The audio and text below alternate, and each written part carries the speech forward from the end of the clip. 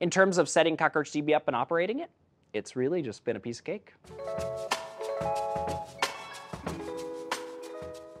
My name is Scott Traver, and I'm a staff engineer at Spreedly on the uh, application architecture team. As pioneers in payments orchestration, uh, we're really rolling with the punches and kind of creating the payments platform that connects modern technologies and modern customers, especially as we kind of expand around the country and around the world.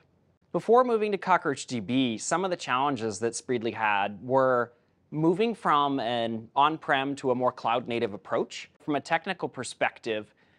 we were using a, a, a, key value store, a non-SQL database without relationships, and so we had some struggles with our secondary index and with our performance. And then as we went more cloud native, we also struggled with the scalability that kind of comes with moving from one server or one set of servers in-house into a, a public cloud and going multi-region. The requirements for Spreedly when kind of evaluating and choosing a new database solution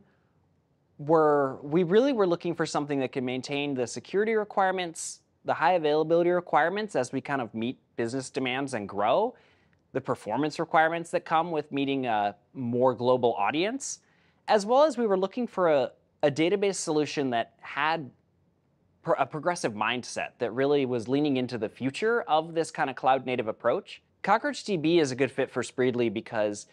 it really is leaning into the, the future and there's a lot of the features that